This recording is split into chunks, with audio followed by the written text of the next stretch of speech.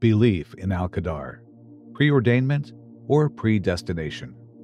The last pillar of the Islamic faith in which every Muslim must believe is the concept of Al Qadar, which closely translates to preordainment or predestination, divine decree, destiny, fate. When one believes in the tenet of Al Qadar, which will translate as divine decree, he or she affirms that everything good or bad that happens in his or her life comes from God the Almighty, something He willed to happen. Al Qadar in Arabic linguistically means to measure, to determine, to assess, to decide, to judge. In the context of religion, the term translates to divine determined measurements and sustenance for everyone and everything, in accordance with His wisdom and power. God states in His book, Indeed, all things we created with predestination. Quran 54:49.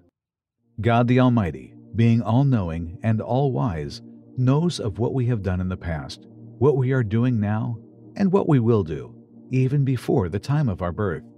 After all, can God truly be God if He didn't know everything, including the future?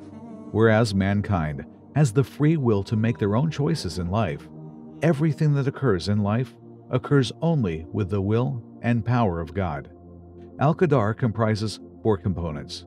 The first component is the belief that God is all knowledgeable of and instigates all things and events, whether major or minor. At all times and places, and regardless of their occurrence, the Almighty's foreknowledge is infallible and complete. And with Him are the keys of the unseen. None knows them except Him and he knows what is on the land and in the sea. Not a leaf falls but that he knows it. And no grain is there without the darkness of the earth, and no moist or dry thing but that it is written in a clear record. Quran 659.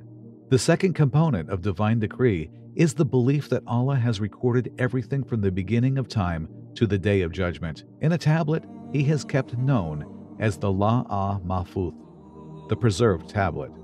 Each's lifespan, amount of substance, deeds, happiness, sorrow, and more is written and recorded in this tablet.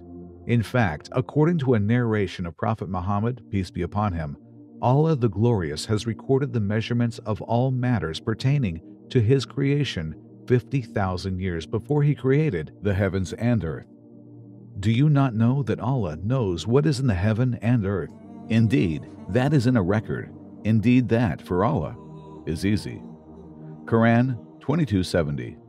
The third component of divine decree is the belief that nothing can occur without the will and power of Allah, whether the event stems from the action of the Almighty or actions of humanity.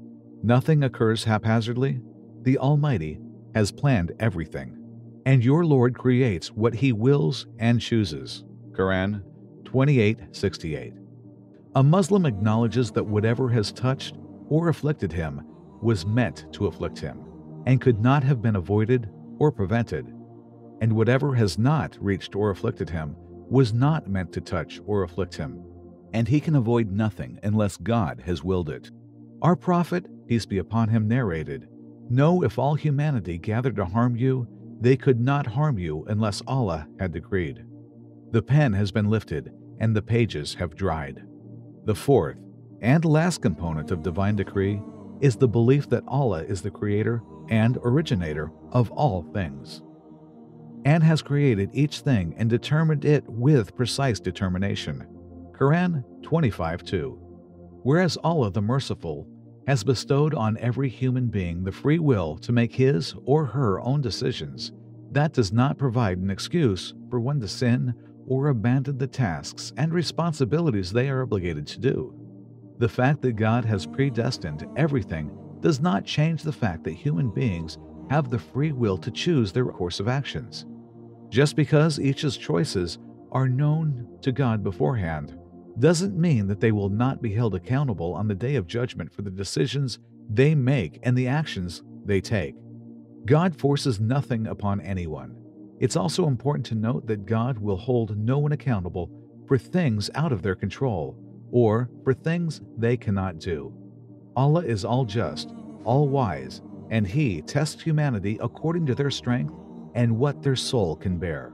A Muslim acknowledges the fact that whatever difficulty they are facing will be made easy for them and that they will have a way to resolve it. God does not burden any human being with more than he is well able to bear. Quran 2 286. A Muslim acknowledges that whatever befalls him or her is in accordance with God's will and plan. Whether or not they understand and accept this fact, a Muslim places trust and reliance in God as God brims with wisdom in all matters. A Muslim affirms that God is all loving and loves his servants over one's parents do. And a Muslim affirms that whatever God does must have a good motive. So a believer always assumes good and does not lose faith. The topic of divine decree will never fully be understood and comprehended by humans, as this concept deals with the essence of God's power and will, which is beyond what our finite minds can comprehend. A Muslim benefits from the act of learning, believing, and understanding in divine decree in several ways. Amongst the benefits is the peace of mind and contentment in the heart that a Muslim attains as he or she acknowledges that nothing happens without a purpose. A Muslim is confident that whatever afflicted him could not have escaped him, and whatever missed him could not have reached him, as God is in full control of all happenings and events, and He predestines everything. This recognition would help a believer endure difficulties and hardships. A believer would not grieve about what could have happened if things had taken a different course, and a believer would not worry about the future because he knows that the events of tomorrow are written and predetermined already. The act of learning and believing in divine decree increases one's belief in the trust of and reliance on God, and increases one's likelihood of performing good deeds. Faith in divine decree decreases one's pride and arrogance, as he acknowledges that his intelligence and actions did not emanate from him, and that God is the source of all that comes his way. Belief in divine decree makes a person refrain from fearing anyone else, inspiring his bravery as he acknowledges that no one can inflict harm on him without the permission and will of God. Without a strong belief in God, the human learns life would not be worth living.